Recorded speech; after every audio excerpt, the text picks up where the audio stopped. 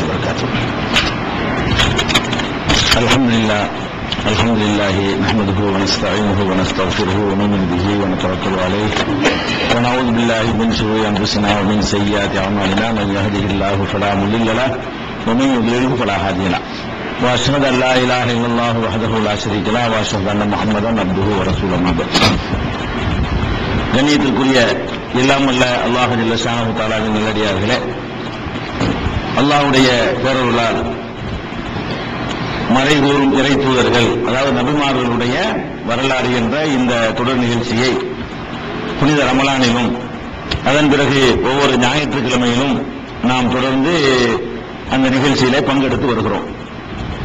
இந்த நிகழ்ச்சியில கடந்த சில வாரங்களாக மூசா நபி அவர்களுடைய வரலாற்றை சொல்லும் பொழுது அவர்களுடைய வாழ்க்கையில சூனியக்காரர்களோடு அவர்களுக்கு ஏற்பட்ட போட்டிகள் அதில் அல்லாஹ் அவர்களுக்கு கொடுத்த வெற்றிகளை சொல்லும் பொழுது சூனியம் என்றால் என்ன என்பதையும் சேர்த்து விளக்க வேண்டிய நிலை ஏற்பட்டது. அதனால் சென்ற வாரம் சூனியம் என்றால் என்ன அது அது பற்றிய விளக்கங்கள் குரான் என்ன சொல்லுகிறது நபிகள் நாயகம் ஸல்லல்லாஹு அலைஹி வஸல்லமுடைய ஹதீஸுகள் என்ன சொல்லுது என்பதை விளக்கியிருந்தோம். அதுலதான் இந்த சகோதரர் ஞானத்தம்பி அவர்கள் என்ன கேட்கிறாங்கன்னா நம்ம இந்த இதுதான் பைபிள்னு ஒரு புஸ்தகம் போட்டிருந்தோம் இல்லையா? அதுல வந்து சில இடங்கள்ல ஏழு வருஷம் பஞ்சம் வந்ததாக சொல்லுது. சில இடங்கள்ல மூணு வருஷம் பஞ்சம்னு சொல்றாங்க ஒரே விஷயத்தைய. இது ஏன் முரண்பாடா இருக்குது? முரண்பாடு இருப்பது வந்து எப்படி இறைவேதமா இருக்க முடியும் என்ற மாதிரி சில காரியங்களை நம்ம அதுல கேள்வி கேட்டிருந்தோம். அதை குறிப்பிட்டவர் கேட்கிறாரு. முரண்பாடு வரக்கூடாது நீங்க தானே சொன்னீங்க. நீங்க சொன்ன அந்த புகாரியுடைய ஹதீஸ்லயே முரண்பாடுகள்லாம் வருத. ஒருத்தர் வந்து கிணத்துல உள்ளதை அப்புறப்படுத்தினாங்கன்ற ஒருத்தர் சொல்றாரு. இன்னொரு அறிவிப்புல கணத்தில் உள்ளது அப்புறப்படுத்தல என்று வருது. இப்படி நீங்க சொன்னதிலே முரண்பாடு வரத்தானே செய்யுது. இதை எப்படி எனக்கு புரிந்து கொள்ள முடியவில்லையே என்று ரொம்ப அழகான கேள்வி. ரொம்ப அற்புதமான கேள்வியை கேட்கிறாங்க. இது ஒரு அடிப்படையான ஒரு விஷயத்தை நம்ம புரிந்து கொள்ளணும். என்ன அந்த சகோதரரும் புரிந்து கொள்ள வேண்டும். என்ன அடிப்படை என்று சொன்னா இஸ்லாமிய மார்க்கத்தில் எந்த முரண்பாடும் கிடையாது. இஸ்லாமிய மார்க்கத்தில் எந்த முரண்பாடும் கிடையாது. ஒன்னு ரெண்டு முரண்பாடு மாதிரி தெரியுமையானால் அது இஸ்லாமிய மார்க்கத்தில் உள்ளது இல்லைன்னு சொல்ற அளவுக்கு இஸ்லாத்தில் அளவுகோல்கள் இருக்கிறது. இதுல அந்த அளவுகள் கிடையாது. இப்ப மூணு வருஷ பஞ்சமா ஏழு வருஷ பஞ்சமா? எது சரி? தீர்மானிக்க இயலாது. எந்த அளவுகோலை வைத்துக் கொண்டு இது சரி அது தவறு என்று சொல்வது என்பதற்கு எந்த வழிமுறைகளும் வேற வேற நூல்கள்ல பார்க்க இயலாது. இஸ்லாமிய மார்க்கத்தை பொறுத்த வரைக்கும் முதல் அடிப்படையாக திருமறை குரானை நம்ம ஏற்றுக்கொண்டிருக்கிறோம். திருமறை குரான் அல்லாஹ்வுடைய வேதம். இந்த அல்லாஹ்வுடைய வேதம் வந்து நபிகள் நாயகம் செல்லல்லா அலை செல்லும் காலத்திலேயே அத்தனை நபித்தோழர்களும் அங்கீகாரம் பண்ணி இதுதான் குரான் என்று அன்றைக்கே அவங்க வந்து பிரதி எடுத்து அந்த பிரதி இன்னைக்கு வரைக்கும் பாதுகாக்கப்பட்டு இன்னைக்கு வரைக்கும் ரெண்டு பிரதிகள் உலகத்தில் அல்லாஹ் வந்து மிச்சமாக்கி வச்சிருக்கலாம் அப்படி ஒரு மூலப்பிரதியோடு இருக்கிற காரணத்தினால அது அல்லாவிடம் இருந்துதான் வந்தது. அதைத்தான் நபிகள் நாயகம் செல்லல்லா அலை செல்லம் குரான் என்று நமக்கு வந்து சொன்னார்கள் என்பதை சந்தேகத்துக்கு இடமில்லாம உறுதி பண்ணிக்கிறோம். இது குரானுடைய நிலைமை. குர்ஆன்ல என்னமாவது முரண்பாடு இருக்கிறான முரண்பாடு கிடையாது. குரானை பொறுத்த வரைக்கும் முரண்பாடுகள் ஏதாவது முத ஒண்ணு சொல்லிட்டு அதுக்கு மாத்தமா வேற ஒண்ணு இருக்குமான்னு பாத்தீங்கன்னா மொத்த குரானை நீங்க தேடி பார்த்தாலும் அப்படியான ஒரு முரண்பாடு இருக்கவே இருக்காது. பாயிண்ட் ஒன்னு ஹதீசுகள் என்பது என்ன என்று சொன்னோம்னா நபிகள் நாயகம் ஸல்லல்லாஹு அலைஹி வஸல்லமுடைய வாழ்க்கையில் நடந்த செய்திகளை அவர்களுடைய தோழர்கள் அறிவிப்பாங்க. எல்லாரும் சேர்ந்து கொண்டு ஒவ்வொரு சீன் அறிவிக்க மாட்டாங்க. குரான் அறிவிச்ச மாதிரி. நபிகள் நாயகம் ஸல்லல்லாஹு சொன்னார்கள் சொன்னார்கள்னு ஒருத்தர் அறிவிப்பாரு. ரெண்டு பேர் அறிவிப்பாங்க. அவங்கள்ட்ட இருந்து இன்னும் ரெண்டு பேர் கேட்டு அறிவிப்பாங்க. அவங்கள்ட்ட இருந்து இன்னும் ரெண்டு பேர் கேட்டு அறிவிப்பாங்க. நபிகள் நாயகம் தான் இதை சொன்னார்கள் என்று உறுதிப்படுத்தக்கூடியவங்க ஒரு ஆளோ ரெண்டு ஆளோ இருப்பாங்க. அதிகபட்சமா சில ஹதீசுகளுக்கு பத்து பேர் இருப்பாங்க. அவ்வளவு பேரும் சேர்ந்துகிட்டு அறிவிக்கிற மாதிரி ஹதீசுகள் ஒன்னோட இருக்காது. எல்லா சகாபாக்களும் சேர்ந்து இதைத்தான் ரசூல் ஸல்லல்லாஹு சொன்னாங்க என்று அறிவிக்கிற மாதிரி ஹதீஸ் கிடைக்குமான்னு கேட்டா அப்படி ஒரு ஹதீஸுமே இருக்காது. குரானை பொறுத்த வரைக்கும் என்ன? அல்ஹம்துலில்லாஹி ரபில் ஆலமீன் அப்படிங்கிறோம். இது குரான் தான் அப்படிங்கறத அன்னைக்கு இருந்து அவ்வளவு சகாபாக்களும் உறுதிப்படுத்துறாங்க. ஒரு ஆள் கூட ஒரு நபித்தோழர் கூட விடாம எல்லாருமா சேர்ந்து இதுதான் குரானு இதுதான் அல்லாவுடைய வேதம்ங்கிறாங்க. ஒவ்வொருத்தரும் மனப்பாடம் வேற பண்ணி வச்சிருந்தாங்க. எல்லாருமே குரானை மனப்பாடம் பண்ணியிருந்தாங்க. ஹதீசுகளை பொறுத்த வரைக்கும் எல்லாரும் எல்லாத்தையும் மனப்பாடம் பண்ணல. இவர் பத்து பண்ணியிருப்பாரு அவர் இருபது பண்ணியிருப்பாரு அவர் முப்பது பண்ணியிருப்பாரு இவர் பண்ணது அவர் பண்ணியிருக்க மாட்டாரு அவர் பண்ணது இவர் பண்ணியிருக்க மாட்டாரு. இப்படி நபிகள் நாயகம் ஸல்லல்லாஹு அலைஹி சொன்னதுகளை மனப்பாடம் பண்ணியிருந்தார்கள். இப்படிப்பட்ட மனப்பாடம் பண்ண செய்திகள்ல பொய்யர்கள் சொன்னார்களே ஆனால் நபித்தோழர்கள் பொய்யரா இருக்க மாட்டாங்க. நபிகள் நாயகத்திலிருந்து கேட்ட நபிகள் நாயகத்திலிருந்து அடுத்து கேட்கிறாங்கல்ல. அடுத்து கேட்கிறாங்கல்ல. அந்த தலைமுறையில் உள்ளவர்கள் பொய்யர்கள் இருக்கலாம் நினைவாற்றல் குறைஞ்சவங்க இருக்கலாம் முன்னுக்கு பின்ன முரணா பேசுறவங்க இருக்கலாம் அந்த செய்திகள் எல்லாம் தள்ளிடுவோம். அப்ப முரண்பாடா சொன்னாலும் கூட அது சரியில்லை என்று தள்ளுவதற்கு நமக்கு அளவுகள் இருக்கு.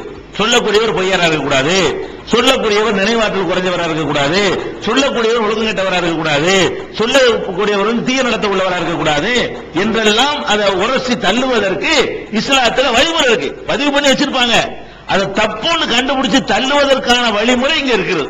மற்ற மார்க்கங்கள்ல நீங்க பாத்தீங்கன்னா முரண்பாடோட சேர்த்து தான் ஏத்துக்கணும்.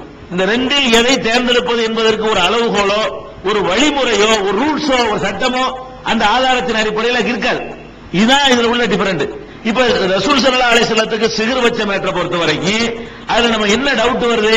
குரான்ல தெளிவா இருக்குது நபிகள் நாயகம் அவங்களுக்கு சிகர் வைக்க முடியாது வைக்க சான்ஸே இல்லை என்பதற்கு ஏராளமான சான்று இருக்குது. அப்படிப்பட்ட நேரத்தில் நபிகள் நாயகம் செல்லாது சிகர் வைத்த அந்த வைக்கப்பட்டதாக சொல்லப்படுமையானால் அந்த செய்தியில முரண்பாடு இருக்கிற காரணத்தினால் அதை நம்ம வந்து தள்ளிடுறோம். தள்ளிடும் போது முரண்பாடுன்னு சொல்லக்கூடாது. நாங்க அதையும் ஏத்துக்கிறோம் இதையும் ஏத்துக்கிறோம்னு சொல்லும் பொழுதுதான் முரண்பாடு வருது. இஸ்லாத்தை பொறுத்தவரைக்கும் என்னன்னு கேட்டா குரான்ல இருப்பதற்கு மாத்தமா அந்த செய்திகள் இடம்பெற்றிருக்கிறது அதுக்குள்ளேயே முரண்பாடுகள் அமைஞ்சிருக்கு என்போது நபிகள் நாயகம் சொல்லா செல்லும் காலத்தில் நடந்திருக்க முடியாது. அவங்களுக்கு சூனியம் வச்சிருக்க வாய்ப்பே இல்லை. அப்படின்னு சொல்லி நிராகரிச்சிட்டோம்னு சொன்னா முரண்பாடு இல்லை. இப்ப ரெண்டு முரண்பட்ட இல்லைங்க. ரெண்டையும் சேர்த்து நீங்க ஏத்துக்கிற போது தான் முரண்பாடுமீங்க முரண்பாடு எப்போ வரும்னு கேட்டா வெள்ளி எப்ப பிறந்தான்னு கேட்கிறோம் வெள்ளிக்கிழமை. அடுத்த நாள் கேட்கிறேன் நீ எப்ப பிறந்தான்னு? சீக்கிழமைங்கிறான் அடே வெள்ளிக்கிழமை பிறந்து திங்கக்கிழமை எப்படி பிறப்ப இது முரண்பாடு ஒரு மனிதன் வந்து நீ எப்ப பிறந்தான்னு அவன் போய் கேட்கணும். வெள்ளிக்கிழமைங்கிறான் அடுத்த நாள் கேட்கணும் திங்கக்கிழமைங்கிறான் இது முரண்பாடு அடே நீ வெள்ளி ஒரு மனுஷன் ஒரு தடவை பிறக்கல நீ வெள்ளிக்கிழமை பிறந்தியா திங்கக்கிழமை பிறந்தியா? வெள்ளிக்கிழமை. அப்ப திங்கக்கிழமை ஏதாவது போய்? முடிஞ்சு வச்சப்ப ஒன்னு நிராகரிச்சுட்டு ஒன்னு சொ- ஒன்னு ஏத்துக்கிட்ட சொன்னா அதுக்கு ஒரு முரண்பாடு இல்ல. ரெண்டையும் சேர்த்து ஏத்துக்கிட்டா முரண்பாடாயிரும் வெள்ளிக்கிழமை தான் அவர் பிறந்தாரு திங்கக்கிழமை தான் பிறந்தாரு என்று சொன்னால் முரண்பாடு அப்ப இந்த மூணு வருஷ பஞ்சமா ஏழு வருஷ பஞ்சமாவுல மூணு வருஷம் கரெக்டா ஏழு வருஷம் கரெக்டாங்கிறது எந்த ஒரு முடிவும் வரையலாது மூணு வருஷத்தையும் அப்படி ஏத்துக்கணும் ஏழு வருஷத்தை அப்படி ஏத்துக்கணும். இஸ்லாம் என்ன சொல்றதுன்னு கேட்டா முரண்படுதா? குரானுக்கு மாத்தமா உள்ளது விட்டுருந்தது. அப்ப முரண்பாடு இல்ல முரண்பாடாக அறிவிக்கப்படுதே தவிர குரானுக்கு மாத்தமா இருந்தா நம்ம ஏத்துக்கொள்ள மாட்டோம்னு சொல்ற பாருங்க. அப்ப முரண்பாடு இல்ல. இதுதான் அது விலகி கொள்ள வேண்டிய விஷயங்கள். வேற வேற சமயங்கள்ல உள்ள இந்த முரண்பாடுகள் வந்து முரண்பாட்டையே நம்ப வேண்டி வரும். இஸ்லாத்துல என்ன சொல்லப்படுதுன்னா முரண்பாடு வந்துச்சுன்னு சொன்னா மிக முக்கியமான ஆதாரங்களின் அடிப்படையில் முக்கியம் குறைந்த ஆதாரங்களை விட்டுருங்க. வெயிட் கூடுன ஆதாரங்கள் இருக்கும் பொழுது வெயிட் குறைஞ்ச ஆதாரங்கள் வறுமையானால் அந்த ஆதாரத்தினுடைய வலிமைக்கு தகுந்த மாதிரி முடிவு எடுத்துக்கொண்டு இதை ரெண்டாம் பட்சமா தள்ளிடுங்கன்னு சொன்னால் முரண்பாடு இல்லை. அதனால இதான் அந்த சகோதரருடைய கேள்விக்குரிய பதில் வைங்களேன். அடுத்த டாபிக் வருவோம். அதாவது அடுத்து என்ன பிரச்சனைன்னு கேட்டா இப்ப இந்த சிகிரு. சூனியம் என்பது நபிகள் நாயகம் செல்லா அலைஹி செய்ய முடியல செய்யக்கூடா செய்யப்படவில்லை. அது குரானுடைய முடிவுக்கு மாற்றம் என்று சொல்லிட்டோம். அது போக இன்றைக்கு சில ஆளுக்கு என்ன பண்றாங்கன்னு கேட்டா மார்க்கத்தை அறிந்தவர்கள் உலமாக்கல் மார்க்க அறிஞர்கள் மக்கள்கிட்ட வந்து நோய் நொடி வைத்த வழி தலைவலின்னு அவங்கள்ட்ட போனோம்னு சொன்னா உடனே என்ன பயம் காட்டுறாங்க உனக்கு சிகிர் வச்சிருக்குது. அவங்க என்ன பண்ணிடுறாங்கன்னு கேட்டா ஒருத்தன் தலைவலின்னு அவ- தலைவலின்னு ஒருத்தர் போனது முதல்ல தப்பு நம்ம தப்பு. உனக்கு தலைவலின்னா அது மாத்திரை வாங்கி போகணும் வயிற்று வலி டாக்டர் தான் போகணுமே தவிர உன்னை மாதிரி ஒரு மனிதர்கிட்ட வந்து போறதுக்கு நியாயம் கிடையாது. அவர்கிட்ட போயிட்டு என்ன பண்றது? வயிற்று வலிக்கிறது. டாக்டர் ஒரு மார்க் அறிஞர் மத குருமார்ட்ட போய் வயிற்று வலிக்குதுங்கிறீங்க அவர் என்ன பண்றாரு? அது வந்து உனக்கு அந்த வேப்ப மரத்தில் வச்சிருக்கு புளிய மரத்தில் வச்சிருக்கு அவன் வச்சுட்டான் இவன் வச்சுட்டான் அப்படின்னு சொல்லி யாராவது பக்கத்தில் உள்ளவன் சொந்தக்காரனை போட்டு கொடுத்து பணமும் பறிச்சுக்கிறாரு. ரெண்டாவது என்ன விளக்கம்னா ஒரு ஒரு சொந்த- சொந்தம் எல்லாத்தையும் பகையாக்கி விட்டுருவாரு. ஒரு ஒரு இது இந்த பிரச்சனைகள்லாம் எப்படி வரும்னா ஆம்பளை பொம்பளை மாதிரிலாம் வரும்.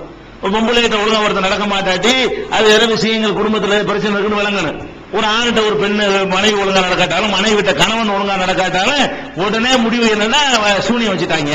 உடனே முடிவு என்ன? செய்வினை வச்சுட்டாங்கிறது அந்த நம்பிக்கை நம்மள்ட்ட இருக்கிறதுனால அவர்கிட்ட போகாம அஜர்த்துட்ட அவர் என்ன செய்வாரு? ஆமா அவங்களுக்கு வச்சிருக்காரு எங்க வச்சிருக்காங்க? கணவன் போனான்னு சொன்னா உன் பொண்டாட்டி வீட்டுல வச்சுட்டாங்கிறது ஏற்கனவே விரிசலா இருக்கு பாருங்க. அதை நல்லா விரிசலாக்கி விட்டுறது. மனைவி வீட்டுல போய் கேட்டாங்கன்னு வைங்களேன் உன் புருஷன் வீட்டுல வச்சுட்டாங்க மாமியா தான் வச்சு பிடிச்ச உனக்கு அப்படின்னு சொல்லி விடுறது ஏற்கனவே வெறுப்பா இருந்துட்டு அவங்க பிரிஞ்சு ஒரு நிலையில இருக்கிறாங்க. இவங்கள்ட்ட போனவன் என்ன பண்றாங்கன்னா இருக்கிறத இன்னும் அதிகமாக்கி விட்டு இன்னும்